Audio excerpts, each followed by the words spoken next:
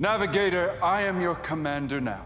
Will you jump the fleet to Thespis, or will I be forced to execute every sailor on this ship? As you wish, Empire.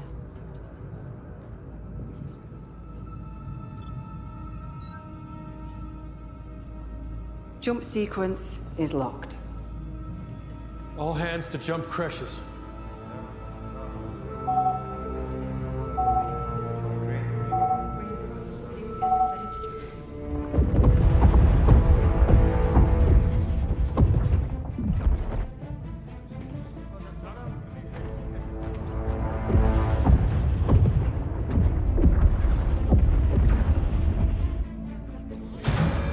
Wrong with the jump sequence. Abort! Abort! What's wrong? What's happening? Each ship is jumping into the space occupied by its neighbor. A chain reaction that will consume the entire fleet. Stop it. Jump us to safety. I cannot. Space, once folded, stays folded. Then prepare a lifeboat for me. The command sequence also disabled all of the landing bays and the launch tubes. But your spacers will also die. It's suicide. A small price to pay for my people's freedom.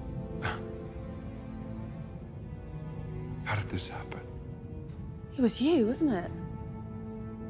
The Spacers handing you over to Empire was a ruse. Yeah, Seldon sent in a master trader with the right goods, and the deal was sealed. Spacers are no longer yours, Empire. The uh, jump sequence was in this. But I had to get it to a spacer, so I needed to get on board this ship.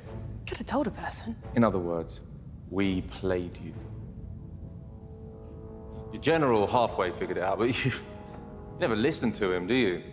Seldon baited you into a war, ordering your entire fleet to Terminus, which you did. Oh, you came right to us because you're so fucking predictable. Hmm.